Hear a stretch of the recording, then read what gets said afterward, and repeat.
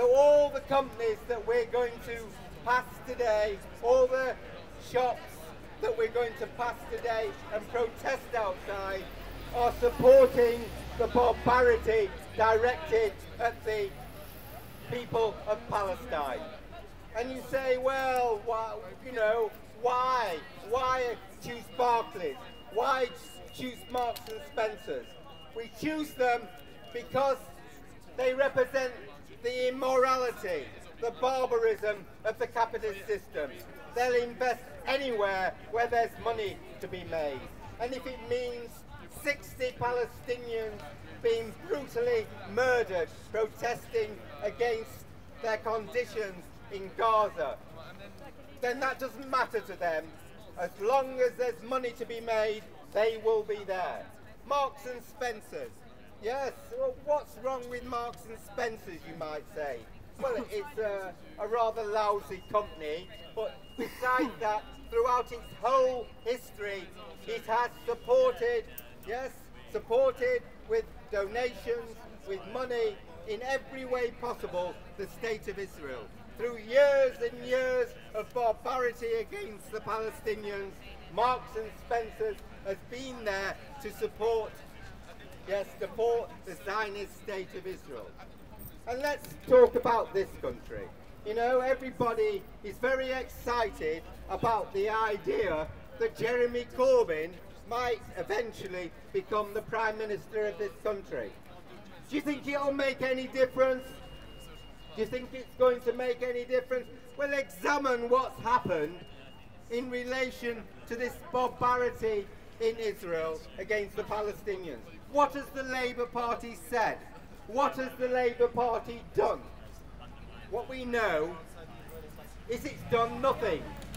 And most of the people that have actually even spoken out against the barbarity of Israel, because any human being with a modicum of decency would attack the Zionist state of Israel for murdering, yes, unarmed Palestinians in Gaza. So the situation is with the Labour Party, they're all terrified that they will be accused of anti-Semitism. And because they're terrified of this, they won't speak out as human beings against the barbarity of the state of Israel. They won't do anything. What has Corbyn said? He said, well, we shouldn't sell arms to Israel. We've been selling arms to Israel throughout its whole existence. Where do you think the arms come from? They come from Britain, the United States and Europe. And they have those arms and they're killing Palestinians with those arms. So, you know, mouthing some desire to not sell arms to the state of Israel represents nothing. Yes. Thornberry, she made a great statement attacking the barbarism of Israel. But she is a member of the Labour Friends of Israel.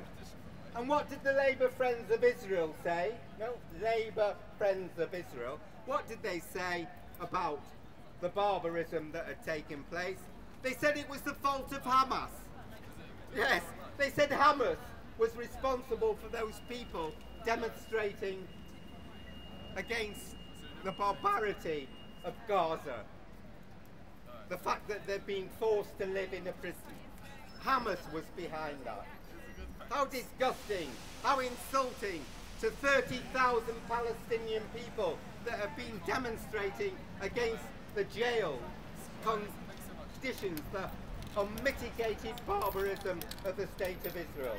But, you know, Labour Friends of Israel. She didn't say, Thornberry didn't say I'm leaving the Labour Friends of Israel. She just ignored this reality. The Labour Friends of Israel are supporters of the state barbarism of the Zionist state of Israel.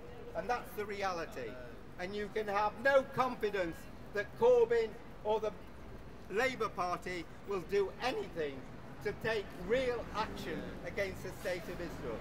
If they were prepared to take that action, they would support the boycott of Israel. they would support the campaign that is building throughout the world to boycott the state of Israel. But they won't do that because they're terrified they might lose the election by being accused of anti-Semitism.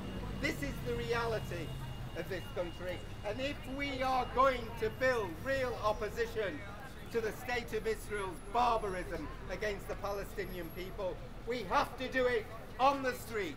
We have to do it week in, week out. We have to tell people in this country what the state of Israel is and what it represents. It is a brutal Zionist state.